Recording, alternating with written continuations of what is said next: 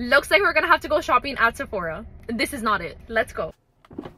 We're here at the mall. We're here. Before we go get my first product, I need to come to Janeiro. These are two of my favorite scents. I'm gonna put this one on.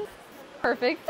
I'm here for my model moment. This cannot be real. They're actually stocked up with the birthday cakes lip balm. This is ultra rare. I've been wanting this product since forever, but we're only gonna get one thing. Whenever I'm shopping in Sephora, my mood just changes. I'm so happy. This is my dream perfume.